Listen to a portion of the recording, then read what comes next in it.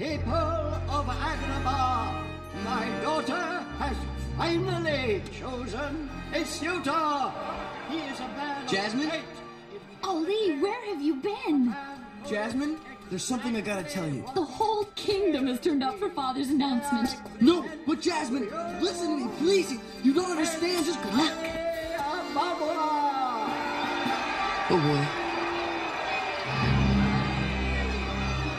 Look at them, cheering that little pipsqueak. Let them cheer. You know, Al, I'm getting really. I don't think you're him. Tonight, the part of Al will be played by a tall, dark, and sinister, ugly man. I am your master now. I'm afraid of that. Genie, grant me my first wish. I wish to rule on high as Sultan.